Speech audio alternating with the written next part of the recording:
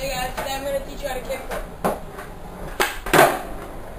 Alright, so for the kickflip, what you want to do is you want to have your back foot in ollie position, but one thing that I like to do is have your heel up and kind of lean on your toes more so that you really can pop it harder and get your kickflip a lot higher. So, um, and then your front foot, when you're first learning them, you want the front of your shoe be kind of in the middle of the board, both ways. So you want it right about here. And then you want to have your foot at almost a 45 degree angle so that you really make sure that you get the full rotation when you're learning them. So one thing you want to do when you're learning to kickflip is what you want to do is you want to pop and flick as hard as you can right here where the nose starts in that little pocket. So you want to pop with your toes hard, flick right there. Then that'll get the board spinning in the kickflip rotation.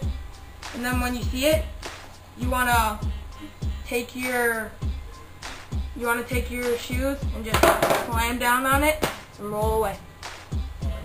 A couple problems that people have with um, the kickflip is they uh, one not getting enough rotation. So you're doing this, you're flicking, which is good, but you're landing upside down. Well, one thing that I found is that if you can get half rotation and land on the board upside down, you're doing pretty good so far because that'll teach you to not be scared of landing it because a lot of people when they start kickflips, they flick it and it goes way out there and you can't land it at all. So that's actually good if you can just get half and land it upside down. Now once you can do that, what you want to do, make sure that you're really popping hard and flicking straight out hard. That'll get you more rotation and you'll be ready to land on the board. Another thing is that some people, they don't flick quite enough. So they go like this, land primo, and fall.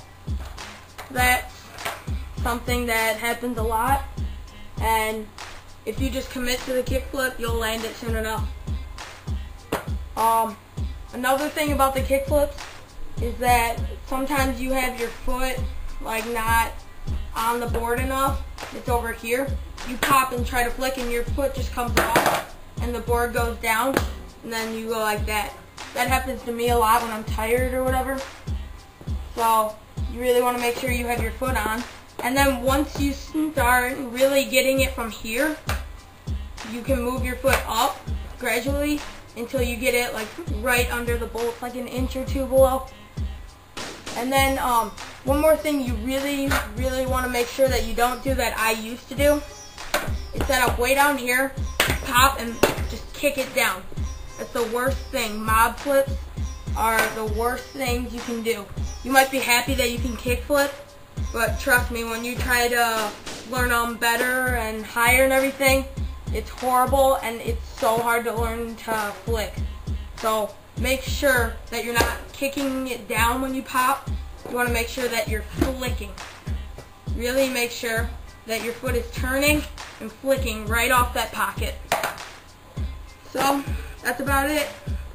That's how to kickflip.